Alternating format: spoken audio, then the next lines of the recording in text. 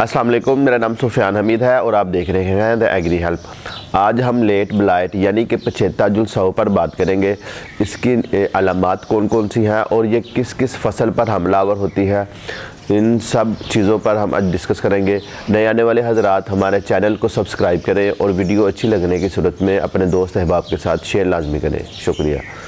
ज़रात के मतलब नित नई वीडियोस देखने के लिए हमारा चैनल सब्सक्राइब करें और साथ लगे बेल आइकन को प्रेस करें। ताकि हर नई आने वाली वीडियो आप तक सबसे पहले पहुँच सके। जैसा कि मैंने अपनी पिछली वीडियोस में आपको बताया था कि जो फ़सल के अंदर बीमारियाँ लगती हैं, वो चार किस्म की होती हैं। एक फंगल डिज़ीज़ होती है, एक वायरस की वजह से बीमारी फैलती है, एक बैक्टीरिया होती है और चौथा जो होता है, वो नीमाटोड की वजह से बीमारियाँ फैलती हैं।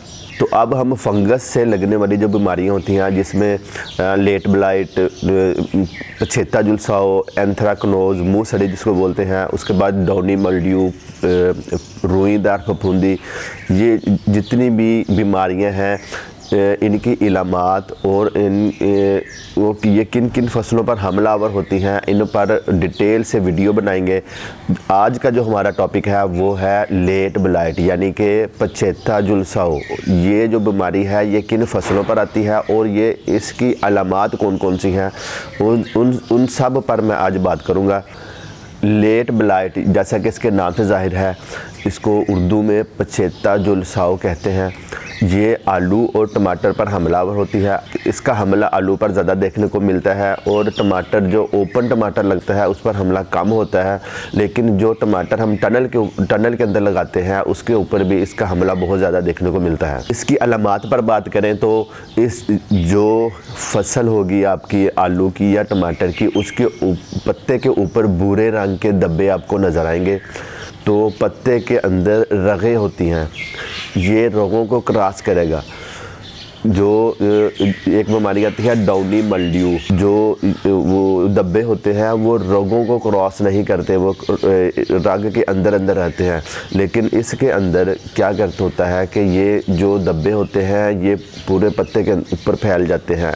पहले छोटा सा स्पॉट बनता है आस्ता आस्ता फैलता जाता है ये रोगों को क्रॉस कर, कर करता रहता है। जैसा कि आप इस पत्ते को देख सकते हैं इस पत्ते के अंदर ये ये जो लाइनें बनी हुई हैं ये रगे हैं इस इसकी जो लेट ब्लाइट पछेता जुलसाओ है वो इन रोगों को, इन रोगों के अंदर महदूद नहीं रहेगा, ये पूरे ऐसे पहले छोटा सा स्पॉट बनेगा और फिर ये फैलता जाएगा, ऐसे बड़ा होता जाएगा। ये जो दब्बे हैं, ये पत्ते के दोनों साइडों पर ज़ाहिर होते हैं और इसकी एक और मेन निशानी ये है कि आपको सफ़ेद रंग का पाउडर दब्बों के ऊपर पड़ा हुआ नज़र आएगा और जब ये बीमारी जिस फ़सल पर हमलावर होगी, उस फ़सल के अंदर से आपको बदबू आना शुरू हो जाएगी। बहुत ही गंदी स्मेल होती है इसकी। वो आपको इस फ़सल के अंदर से अंदर से आना शुरू हो जाएगी। जब फ़सल आपकी फल वाली हालत में आ जाएगी तो इसकी बदबू बहुत ज़्यादा बढ़ जाती है। अब इस बीमारी के टेम्परेचर पर बात करते हैं कि ये बीमारी किस टेम्परेचर पर बहुत ज़्यादा तेज़ी से फैलती है।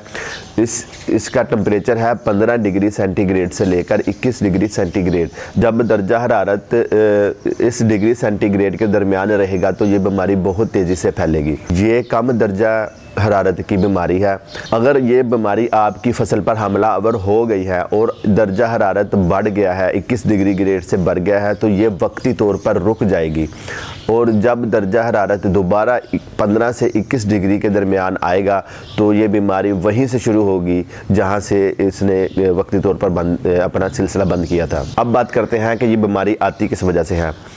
अगर आपने आलू या टमाटर की फ़सल लगाई हुई है और बारिश हो जाती है और या आपने पानी ज़रूरत से ज़्यादा लगाते हैं या पानी ज़्यादा देर के लिए खड़ा रहता है तो ये बीमारी हमलावर होती है। इसका हमला इतना शदीद होता है कि ये पौधे के तमाम हिस्सों को ख़राब कर देती है।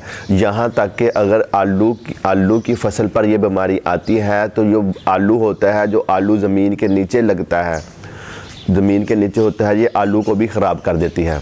जो फंगस वाली बीमारियाँ होती हैं, जितनी भी फंगस वाली बीमारियाँ होती हैं, जब अलामत ज़ाहिर हो जाता है, जिस पौधे पर या जिस पत्ते पर अलामत ज़ाहिर कर देती है तो वो उस पौधे या उस पत्ते को ठीक नहीं कर सकते।